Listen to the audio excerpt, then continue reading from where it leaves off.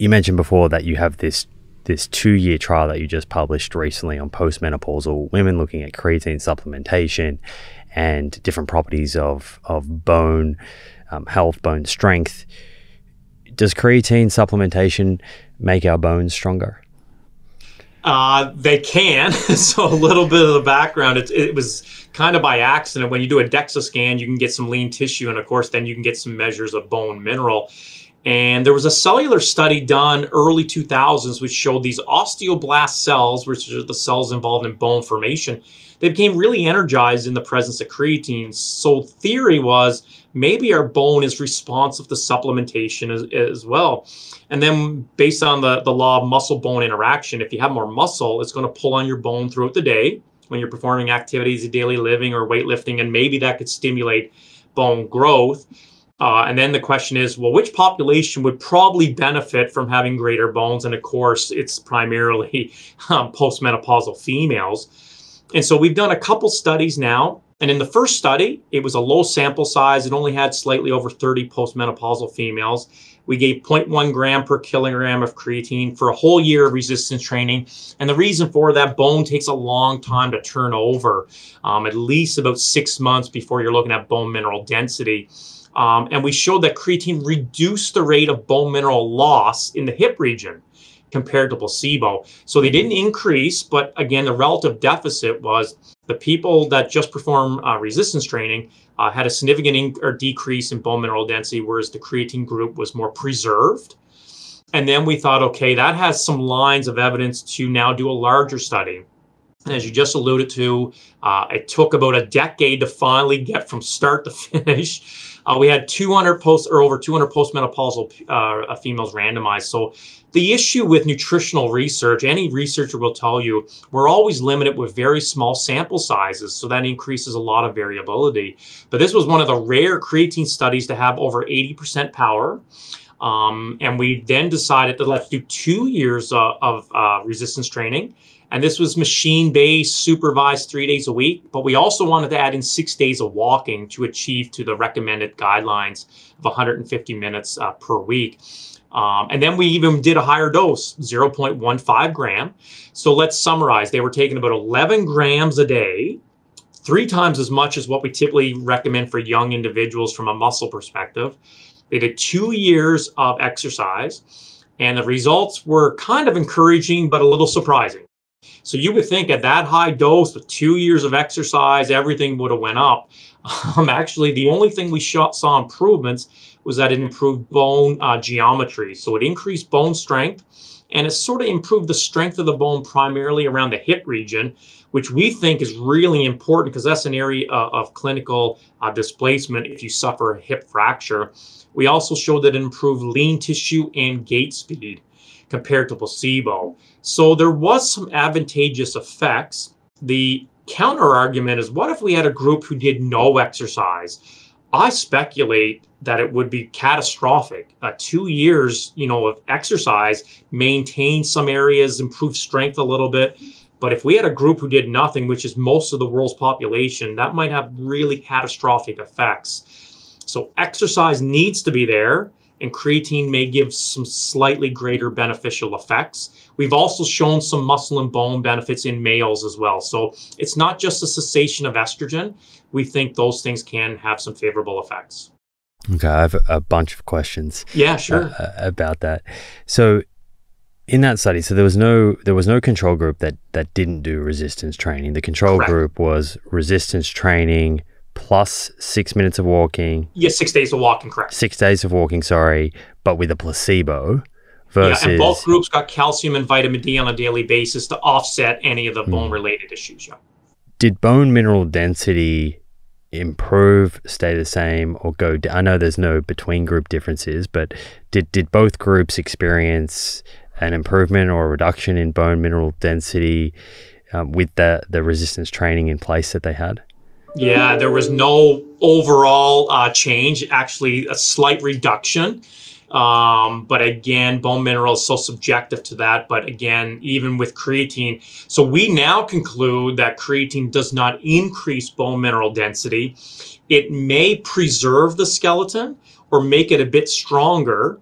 um, that sort of the architecture because we measured trabecular and cortical bone before, um, but measuring by DEXA or the areal shell, um, we're not seeing any increase in bone mineral. It may help preserve the skeleton um, more than placebo.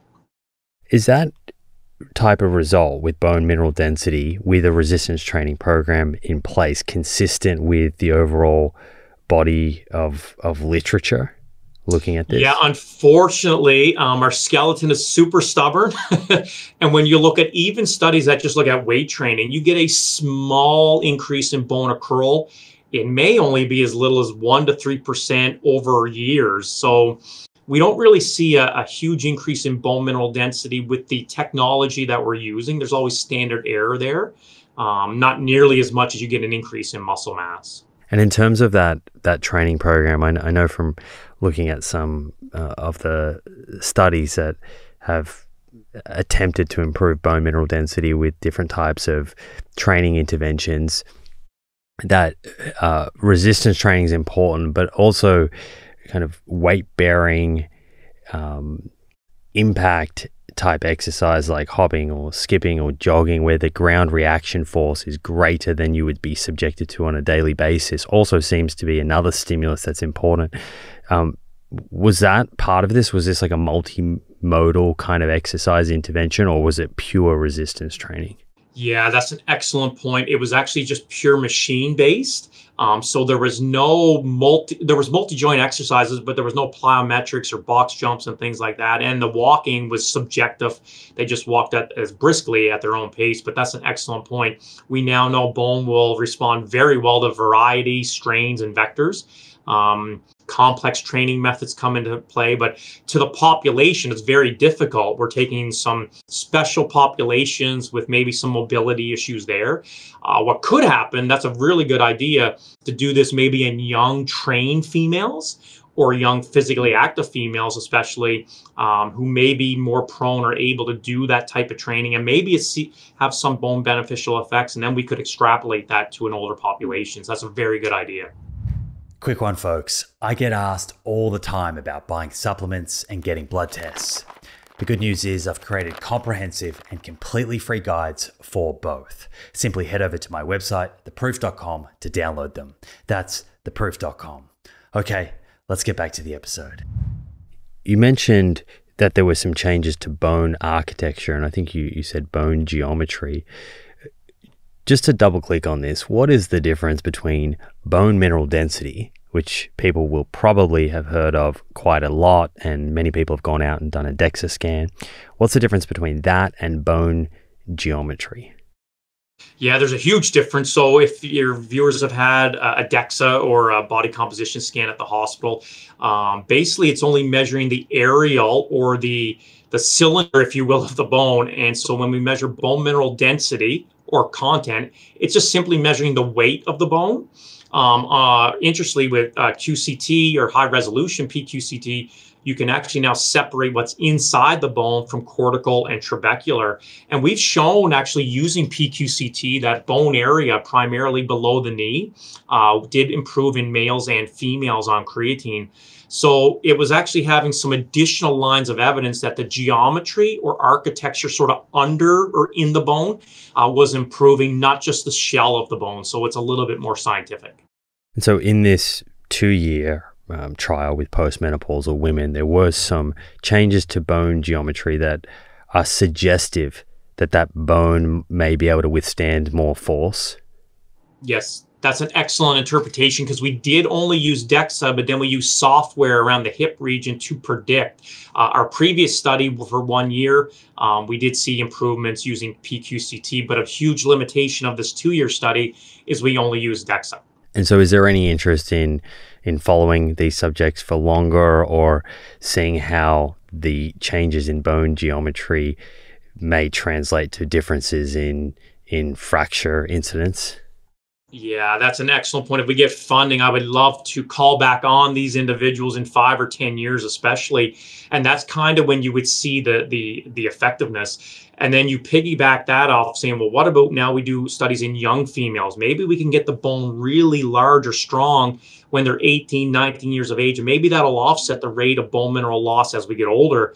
Um, so the theory or the myth that it's kind of never too early to work out young males and females should be exercising and hopefully we can build up the body that'll offset the catastrophic effects of, of, sort of biological process of aging. But there's a whole bunch of areas. We have several studies planned um, and we're also thinking now what if we do the old old age? Like could creatine and exercise have potential beneficial effects for 80 and above? And, and we think it might. The timing of the intervention is super interesting. I remember reading a review on uh, bone mineral density and, and postmenopausal women. And it spoke about the fact that there seems to be quite a rapid loss of bone in the, the first handful of years after menopause. So if, if the average age of menopause, I think is about 51 or between 47 and, and 51. And if I recall correctly, you know, the average woman could lose five to seven and a half percent of their bone mineral density in that that first five year period. So I wonder, you know, whether the effect of creatine and the benefit could be dictated by when you intervene. So mm. if you if you intervene when a woman is 51 versus intervening when she's 60, mm-hmm. and already experienced that that rapid bone loss, would there be a difference in terms of outcome? Yeah, that's exactly our line of thinking to look at premenopausal versus perimenopausal and then we're in is very interesting. We waited 20 or our participants had to wait 24 months from the cessation of the last menstrual cycle. So they were sort of well into the menopausal years. Uh, but you're right. What if we got it during the menopausal transition into early menopause and late menopause? So that's an area where we'd have to do a series of studies with large sample sizes to sort of look at that. My guess is you would have to sort of piece together a number of studies to come up with some foundational evidence. Yeah. So there was no difference in the, the bone mineral density between the placebo and the, and the creatine group in the two year study. But from your earlier pilot study, there was significant differences in, in bone mineral density, I think femoral neck from, from memory. Why, why do you think that those the two studies had different results? Well, it's counterintuitive to what we think because you would do long weight training and a higher dose. So we don't think any of those things played a role. The big issue we think is statistical power, whereas the later lattice or the, the later study we had over 200 individuals. In the first study we only had over 30. So the chance could have been by finding. It was significant. The effect size was was low to moderate, um, but it could be by chance of the people that were randomized in that, and that's kind of what we speculated. And the the changes in in architecture. From a mechanistic point of view, you mentioned before that it has been thought that you know creatine can increase muscle mass and strength, and that can can then result on on more force being put through the skeleton. You can you can you can lift a, a greater load. Is that the primary mechanism by which creatine is influencing bone architecture, or does creatine itself play a role in bone tissue and affect osteoblasts and, and osteoclasts, these cells that are building and breaking down bone? It's a great uh, uh, analogy. We think it has a direct and indirect uh, effect. So let's go with the one you just mentioned, the indirect. So the theory is if creatine and resistance training increases muscle mass, uh, muscle will pull on the bone, and maybe that's some of the stimulating effects. So that's an indirect way. But there's actually some good cellular uh, uh, data to, to, suggest it actually has direct effects. So, uh, as I alluded to, that study in the early 2000s simply showed that osteoblast cells in the presence of creatine sort of increase their activity. And so the theory would be if osteoblast cells have more activity in the presence of calcium, maybe they can sort of piece together more skeleton or more calcium into your bone. But we've actually shown now numerous times creatine has been shown to uh, decrease markers of bone breakdown. So these things called N-telopeptides or markers of collagen breakdown. So creatine has been shown now in a, several studies in young and older adults to reduce uh, collagen breakdown. So you could say, okay, we might have some benefits with osteoblasts. Now we might actually preserve um, bone breakdown. It's kind of like a bisphosphonate, not nearly at the same level, but that's the theory. So when you get the uh, balance, maybe the bone could have a greater integrity over time. So even though the the kind of, I guess, the results with regards to bone health are, are not clear cut at the moment. There's there's some signal. We don't have long term studies that look at the hard outcomes like fractures themselves.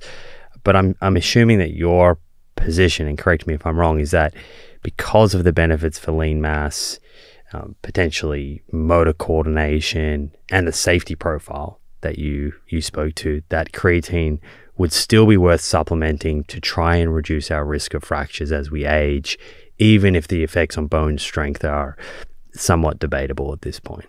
Yeah, I think it's something to consider on top of the resistance training cake because, as you just said, we've it has been shown to do this in, in some studies. The other big thing is our colleagues in Brazil have not shown any bone effects without exercise. So this is important. If you're taking creatine and you're expecting to get these magical powers, it's not going to happen. You need to do some form of exercise. And the dose seems to be higher. Uh, they looked at one and three grams a day for up to two years and they found no effects. Uh, the dose we've given and other labs have given is, is higher. Um, so it seems to be a little bit higher with exercise, and you may be able to get some greater effects. And if that decreases the risk of falls or improves ability or, uh, uh, you know, more importantly, decreases fractures, uh, that's something to at least consider.